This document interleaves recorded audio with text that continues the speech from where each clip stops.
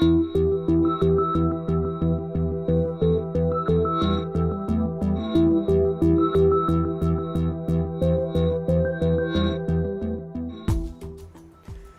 this is a pretty cool design. This is guaranteed to impress even the most hardened coffee connoisseur that'll come to your house.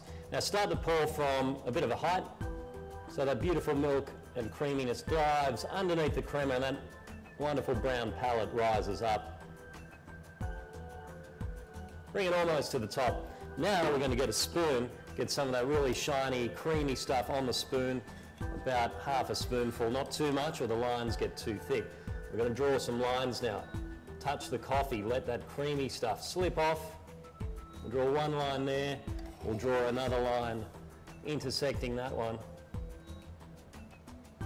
Across there like so. Try not to touch the edge of the cup for presentation purposes. Let's put a dot here, a dot here, one here, and one in the last quadrant there.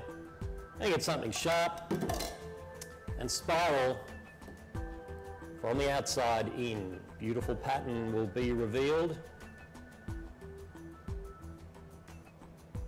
Wow, look at that.